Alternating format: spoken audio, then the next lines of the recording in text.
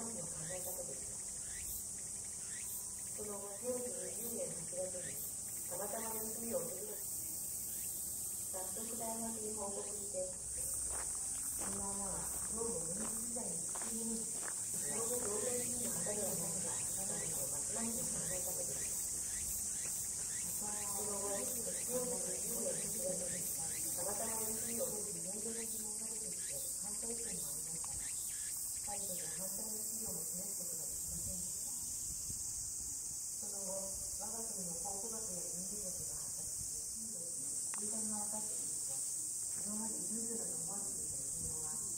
メイク?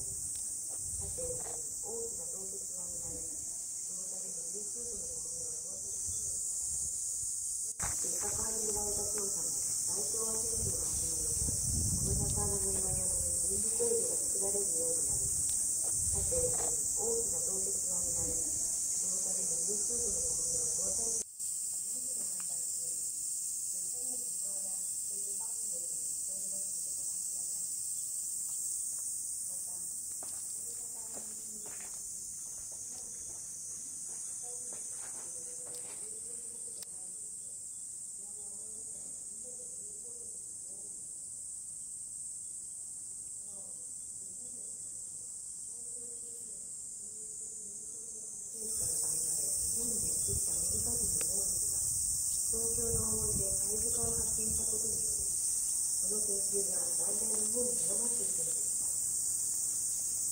ちょうどその頃この地方の共同研究家として知られていた水木長の人は、国民取るけど上力して他の下の方にある上野大地から16個の横浜ナギを発見しました小川の出土品やラインの一部が魚ところやアメリカのモールスも相次いで魚を取って研究しました子どもは大変され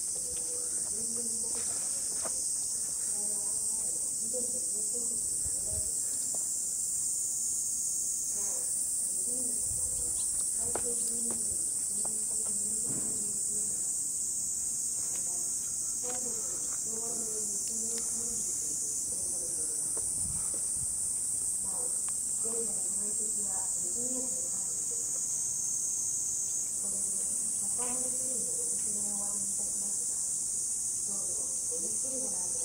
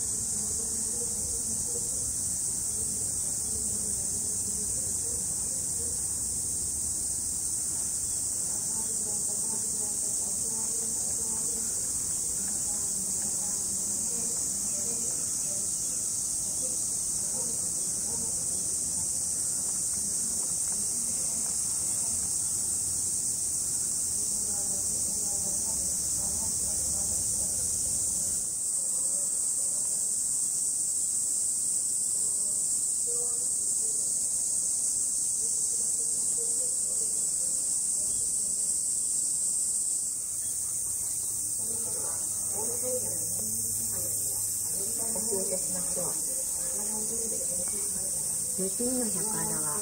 古くから親しまれてきた遺跡で江戸時代の中頃には